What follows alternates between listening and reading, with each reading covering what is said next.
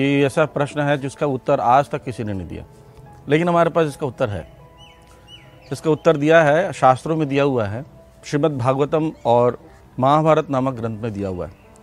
महाभारत में आदि पर्व उपपर्व में आस्तिक पर्व जो उसमें दिया है, अध्याय 16 उसमें वर्णन किया पूरे अध्याय में किस प्रकार कश्यप मुनि तेरह स्त्रियों से विवाह करते हैं।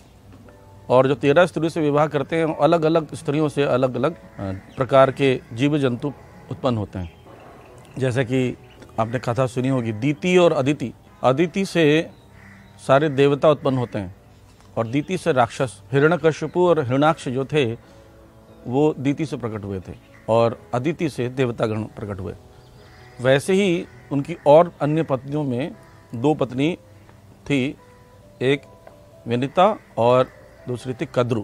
कद्रु भी जो ऐसी स्त्री थी जिसके शरीर से कई सर्प जन्म होने वाले थे, इसलिए उन्होंने हज़ार अंडों का जन्म दिया। हज़ार अंडों में से सर्प उत्पन्न हुए, नाग उत्पन्न हुए और जो वनिता थी, उन्होंने दो अंडे दिए। या कई जगह बताते हैं कई अंडे दिए।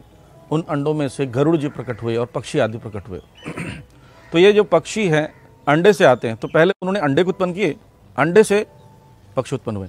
तो इससे ये निष्कर्ष निकाला जा सकता है कि पहले अंडा आया, फिर पक्षी आया।